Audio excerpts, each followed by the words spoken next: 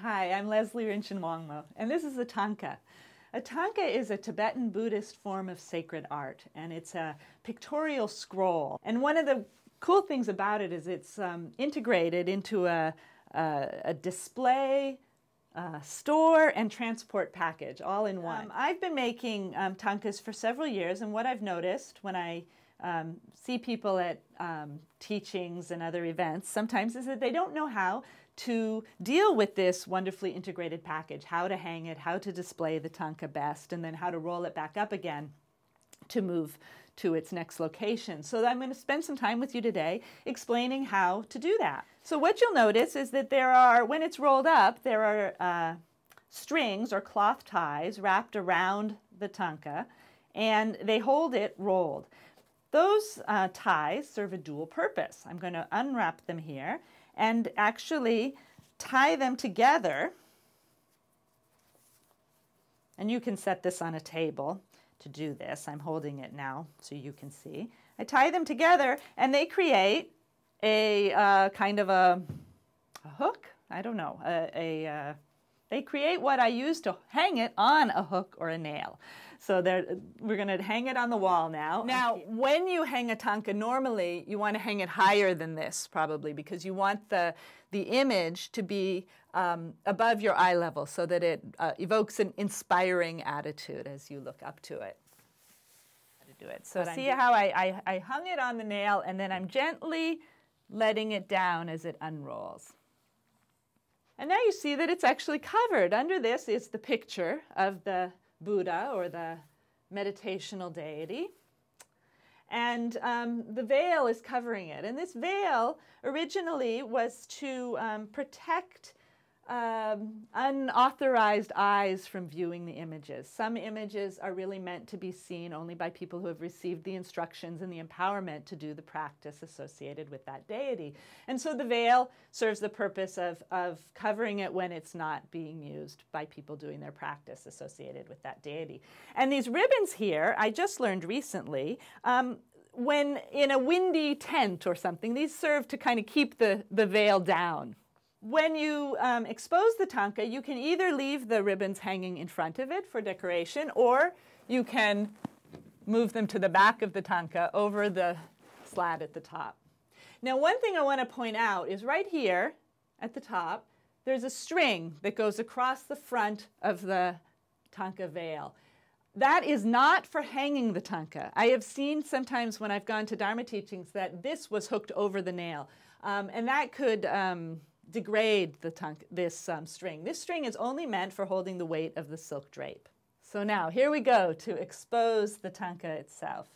We're going to start from the bottom of the veil and in my right hand, because I'm right-handed, if you're left-handed, you can do it in your left hand. We're going to fold this uh, center of the veil in pleats, sort of accordion fashion, back and forth, gathering it in your hand as you fold it up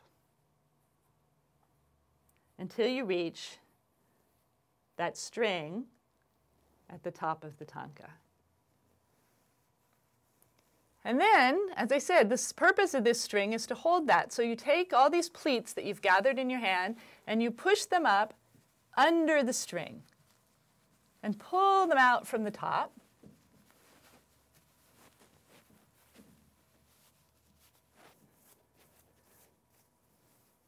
So that it creates a nice flourish at the top. And you can play with this. You can open this up so it looks like a blooming flower. You can move this into a semicircle like this, or sometimes people will separate it and um, display it more separate at the top. That's your choice, how you like it, how you feel it enhances the image. This thangka, most thangkas, the picture itself is a painting, and the external frame is a fabric, a brocade. This is a rarer form of thangka, which is the kind that I make, which is an applique thangka. So occasionally you will see this, where the whole picture and frame are made from fabric. Usually you'll see a painting in the center. This one is White Tara, uh, the goddess of longevity and you'll see the brocade framing it. Okay, so when you're if you've displayed the thangka for a temporary occasion or you're going to move or you need to take it somewhere, you need to take the veil back down. So we're going to pull it down from where it's hooked under that string until it drapes freely again. We're going to bring the ribbons back to the front. So they hang down in front.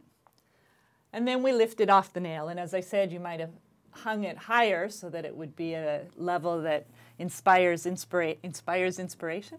Um, so you might need a step ladder to get it down. And then you need a friend for this part, for rolling it up. So Marianne, will you come here and help me? If you'd stand over here. And your friend will hold the top slat. There you go, thank you.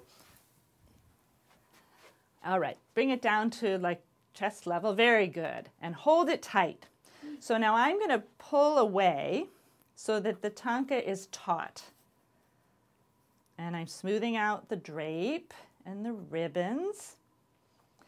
And then I start to roll. Now, as I roll, you'll notice that my hands are on the outside. Whoop, let me fix the ribbon there. This is very important, and this is especially important with a painted thangka because you don't want your hands to be gripping the canvas and the paint because you can crease and crack that and degrade the painting. So you want to always keep your hands on the fabric, the brocade borders as you roll up. And keep it taut so that it will be nice and smooth inside the roll. And when you get all the way up to the top, thank you, Marianne, mm -hmm. can you just hold this one in now? And then those wonderful straps that were used to hang the thangka on the nail will return to their, their second purpose of keeping the thangka rolled up. Now notice, where they're sewn here, if I wrapped it here, I would be wrapping it right on top of the picture. And again, if it's a painting, that can be really dangerous. You can damage the painting. So make sure you instead stretch them out to the edge, hook them on your thumb, and wrap it around so that it's squeezing on the brocade, not on the picture itself. And tuck them under so that they'll hold. And then turn it. My friend can hold the other end. And again, tie this one. I hope this has been helpful and um, that when you have the occasion to hang your thangka, you'll know now how to do it in the most um, respectful and beautiful way possible. Thank you so much.